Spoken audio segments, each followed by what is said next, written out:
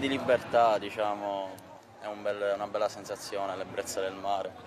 Io personalmente, dopo una quarantena, dopo essere stato chiuso a casa, qui è solamente respirare un po' d'aria. Sì, sì, no, le manteniamo le distanze, però è giusto così, è ovvio. È giusto. Poi è anche giusto andare al mare, ovviamente, perché Palermo è questa.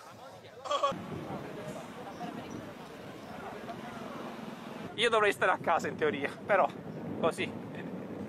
Una boccata d'aria così in famiglia si può fare. Però se tutti facciamo i bravi, io ce l'ho la mascherina, momentanea non l'ho messa perché comunque siamo fra di noi. Però sì, ci auguriamo di sì.